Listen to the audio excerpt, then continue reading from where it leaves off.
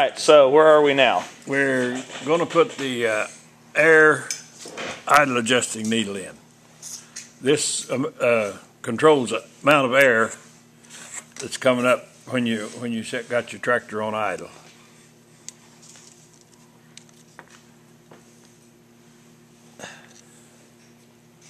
Hmm. We may have to use that old spring. New spring too stiff? Must be.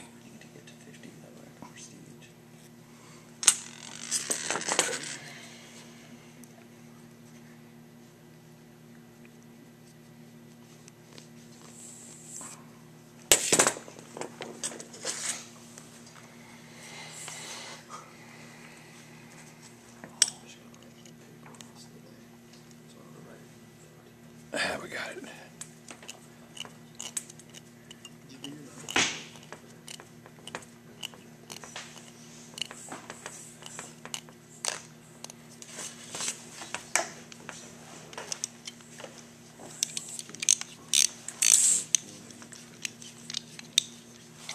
How tight do you tighten that? Just lightly. It says turn needle in lightly until seated, then back out one turn. Seated means it's all the way in. Seated means it's all the way in. You can't turn it no more. Lightly, And then back how much? one turn. Uh, another thing, you don't want to force this on in there because uh, it'll.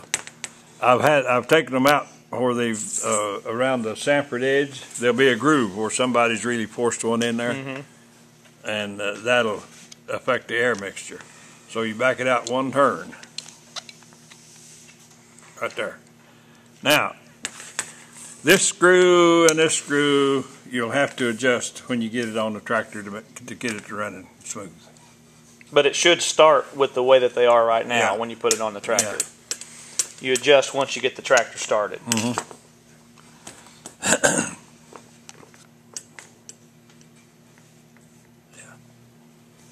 Now we can put uh, we can put all of these back in there. Now your gasoline from your tank goes in here through the Mhm. strainer, fills up this bowl because the float is uh, letting the gas in. The gas will go through this jet down here by adjusting with this needle go through that whole lot, we use this uh, where they're at there. We use that to make sure that jet main jet was open. It'll go through that metering valve. They call it uh, what do they call that thing? 17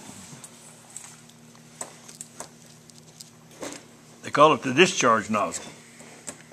Up through there and the gas hits that venturi and just kind of explodes into vapor. Uh, not vapor, but uh,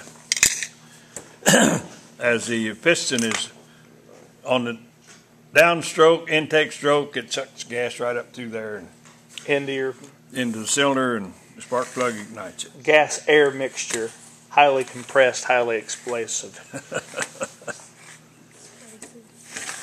Explosive.